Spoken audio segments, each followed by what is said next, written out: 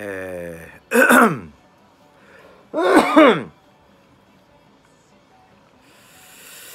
えーというわけでですね。うんと日曜日の朝です。えーまあ、今週いろいろありましたね。月曜日にあの緊急事態宣言を出しますよというような、まあ、話があって、まあ、東京知事も東京都知事もあの会見をしたりとかしてね。で火曜日ですか。火曜日に、えー緊急事態宣言発令ということありましたけれどもあの今日、まあ、ちょっとタイムラプスであのあの今、まあ、流しましたけれど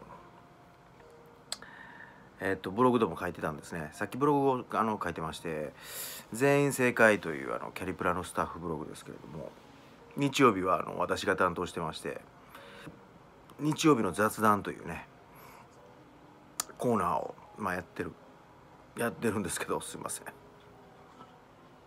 そこでも書きましたけどね。まあ、緊急事態宣言が発令されるまでもなくねもうあのずっと前からあのーまあ、大変なことが起きていて、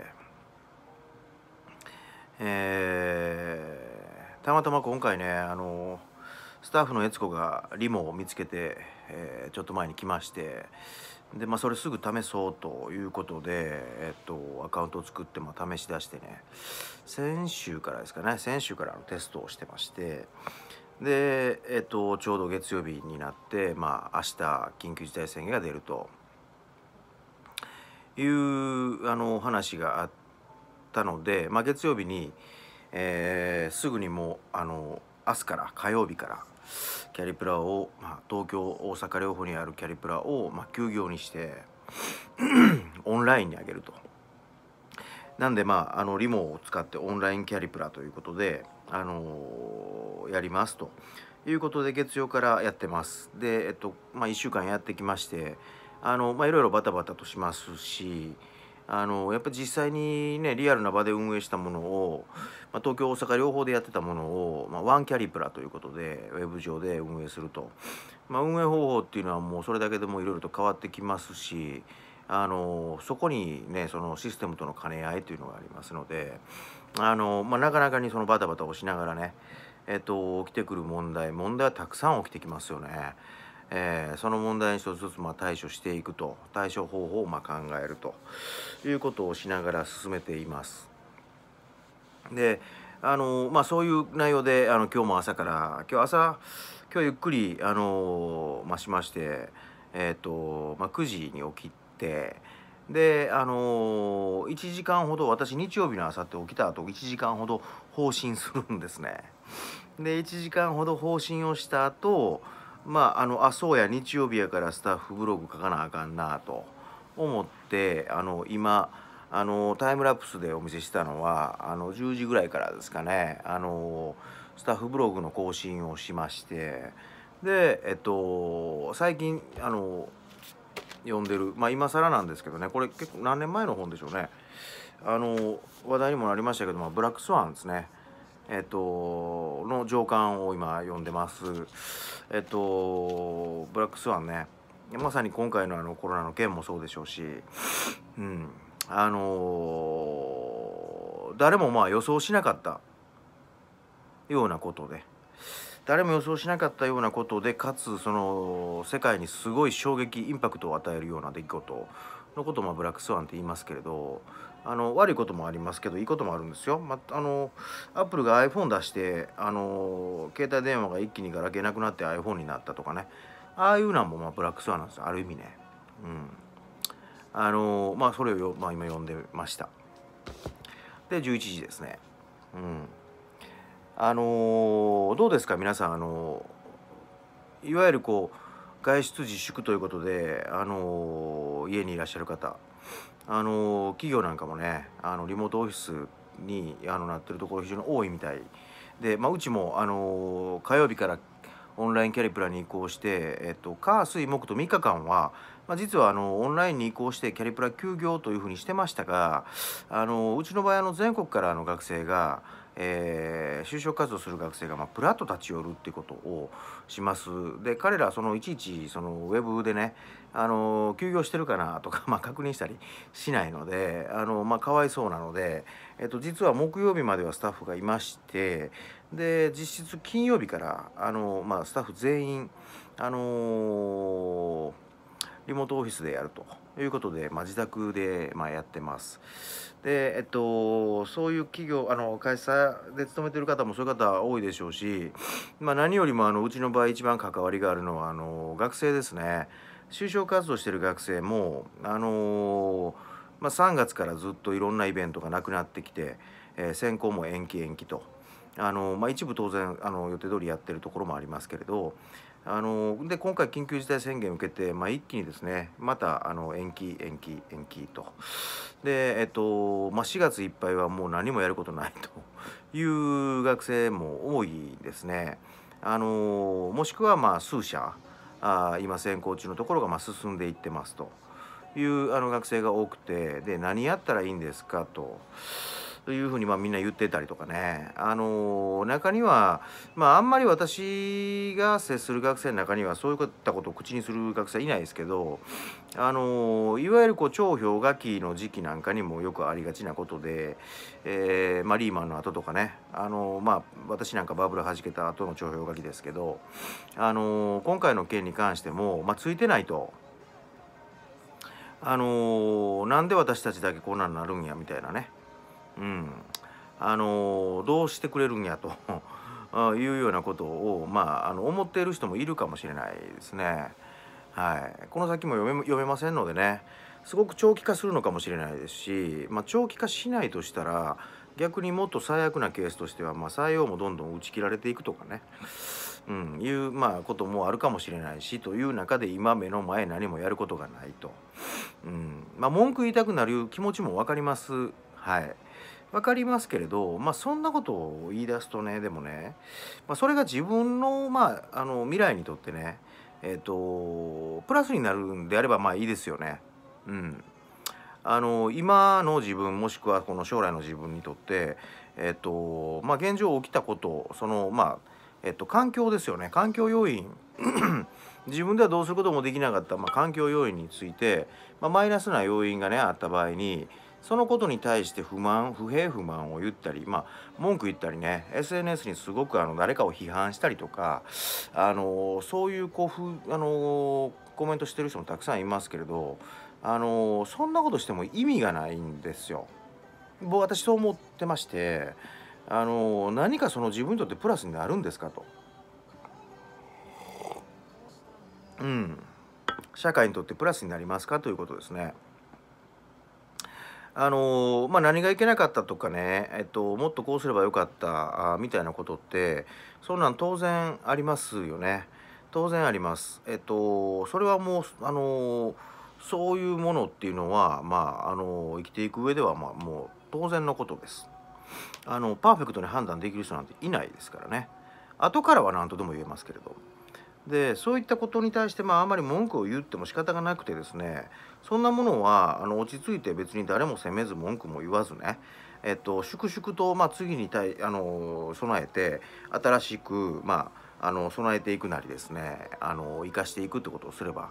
まあいいだけのことであの誰かを吊るし上げても仕方がないことです同じくその環境に対して、えっと、不平不満を言っても、えっと、仕方がないことであって今何ができるかっていうふうに考えてやっていくしかないですよね。あのまあ、自分のためになるなるのはなるやり方ってどうなんやろうって考えたらねそうしかないと、まあ、私は思ってるんですよ。なんであの文句言いたいのは分かりますけどあのー、私だってあの大変ですけどあのー、何でしょう。あの世の中にはなんかあのあのなんかボランタリーなあの事業を10年も以上も展開してきてる田辺屋はあの非常に金持ちなんじゃないかと言われてたりとか 思ってたりとかする人もなんか中にはいるみたいですけれどあの私起業した時あれですからねあのえっとないくらやったっけ？えっと、会社作って起業した時11年前。全財産がえっとえっとですね全部企業の登記とかね全部終わってその辺の印紙とか、まあ、結構金かかるので、えっと、払い終わった後の、えっと、お金がですねえっと確か、えっと、5万円か6万円やったんですよ。全財産ですよ。うん、でえっと、確か、まあ、確か5万円やったとして、5万円のうちで、で、何、どうしようかと思った時に私、まだ事業も立ち上がってないし、来月以降、今月から先、えっと、お金が入ってくる予定も全くなかったんですけれど、何したかっていうと、5万円で4万9800円の自転車買ったんですよ。なんでかって言ったら、まあ、5万円なんかね、残しといてちょっとずつ使ったところで、まあ、すぐなくなりますんでねご飯食べてたらなんでまあただその自転車に変えてしまえばね移動全部自転車でできるじゃないですか あの私が動けさえすればねえっと、今見込みがなくても、えっと、何とかしてお金を作っていけるっていうあの可能性が残りますんで、まあ、動ける手段ということになると、まあ、交通費が、えっと、もうなくなると手元にお金がなくなるということを考えたら自転車やなと。もう関西まあその時大阪にいましたんで、えっと、関西ったらどこでも行けるぐらいの、まあ、結構堅牢なあのやつの自転車買おうというので、まあ、4万9800円の自転車買ったんですけど、あのー、それぐらいねお金ないですよ全然。そっからだってやってきた事業ってもうほんまにボランタリーなものばかりですからね。あのー、キャリプラってあのー、1ヶ月固定費いくらかかるかご存知ですか？東京と大阪の両方で、えっと、家賃と、えっとまあ、学生に食ご飯食べさせるので食材食費とあとまあいろいろもろもろ経費あので、まあ、人件費も入れますか？人件費まで入れたらななんぼなんでしょう？えっと多分ね300万ぐらいですよ。固定費で300万円超かかります。東京大阪のキャリパーやるのに。毎月ですよ。月末に300万円以上毎月払わなあかんですよ。でそれをねえっと作っていくためにじゃあお金が儲かるビジネスしてるかしてないんですよ。すごくあの、まあ、学生に対してやってることって全部もちろんタダですしあのそれをじゃあどうやってお金に変えてるかっていうとあのキャリプラっていうインフラを使ってね、えっと、全国のまあ大学さんの就職の、まあ、学生に対する就職の支援とかえっとまあ、採用する企業さんのその採用活動とかねにそのインフラをまあ生かしてもらうっていうことで、えっと、年間で、えっと、インフラの利用料金としてまあいくらってお前いただくんですけど、あのー、人材業界のビジネスモデルで何て言うか例えば学生が1人入ったらいくらもらえるみたいなそういう既存のビジネスモデルを、まあ、全部あのまあ、ぶっ壊しちゃえみたいな、あのもともとのうちの何て言うんですかね目的を、あのー、やっていくプロセスではそういうこう考え方が必要なので、えっと、インフラっていう考えでやるとねもうすごくお金にしたら少ないんですよもらえるものがね。で、えっと、それで年間の6ヶ月12ヶ月のうちの6ヶ月はキャリプラにこもって学生の相談しか乗らないですよ。あのその間企業の方とか、あのー、まあ、いわゆる社会人大人の方がなんかおか仕事の話で、えっと、私にアポをあの入れてきても、あのー、いやちょっと当面は会えませんみたいなこと言うんですよ。ねひどいもんですよ。3月とかに連絡あったらねえっと次6月の半ば以降にあのー、ぜひお会いしたいみたいなことを言うわけですよ。なんでかもう学生の相談ずっと乗ってるからですね。まあそんなことやってるそんな事業をね11年、まあ、ずっとたあのやって作ってきてるんですけどまあ01であのないものを作ってるんでおかげさまであのオンリーワンな存在にはなってきてますがそもそもが事業のそのベースがすごいボランタリーなんですよ。であの利益率の低い、まあ、非常にあの売り上げの立たないあのことやってますんでお金ないですよね。で今回これ全部止まってるじゃないですか。え大変なんですよ。キャリプラ休業にしたからって固定費下がらないですからね。あの部屋借りたままなんで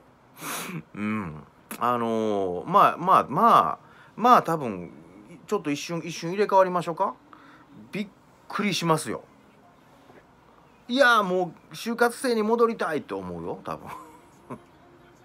でもねあのそんなこと別にどうでもよくてあの今起きたことはもう仕方がないのでこの中でじゃあねえっと今何ができるかっていうふうに考えて、えっと、建設的に、あのまあ、やることやっていくってことしかないんですね。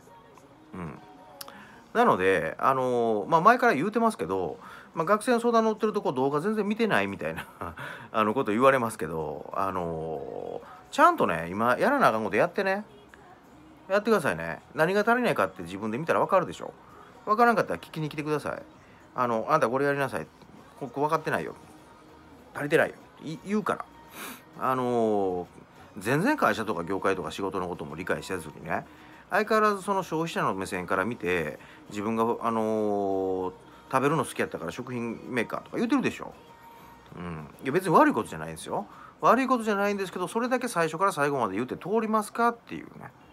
それだけ最初から最後まで言って通るだけの他の、えっと、部分でのあのほなんていうかな突き抜けた何かを持ってる人はいいですよ。突き抜けた何かを持ってますか？ってことね。じゃなければねあの食べるの好きやから食品メーカーって最後まで言うてても通らないですよ。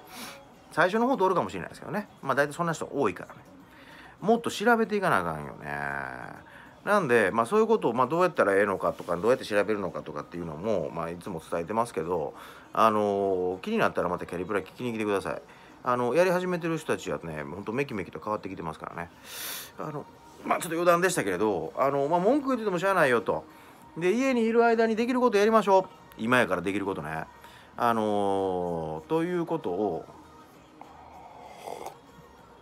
改めてちょっと言わなあかんなあっていうふうにこの1週間、うん、あの学生の相談に乗ってて思いました